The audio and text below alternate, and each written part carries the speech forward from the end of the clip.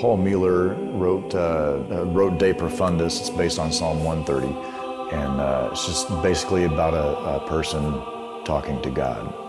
Hey, I, I, need help. You know, he's written into the song uh, low E, which you don't see in choral music, but uh, he's written a low E, and um, I'm ready to sing it.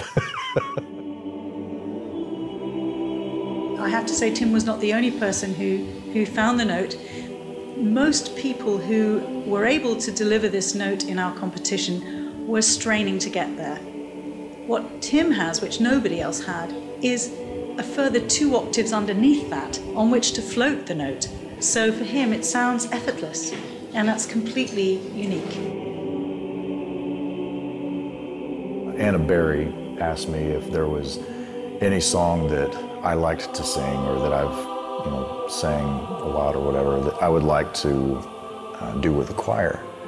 And that took me back. I was like, oh, wow, okay, um, cool. um, and really, Amazing Grace is the first one that came to mind. I once was lost, but now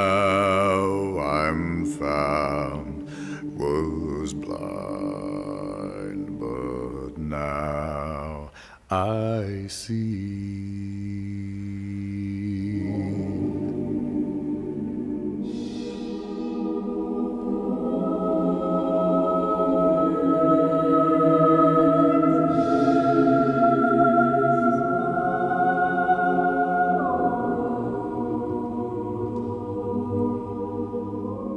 I'm really excited to be a part of this album. Uh, it's going to be great.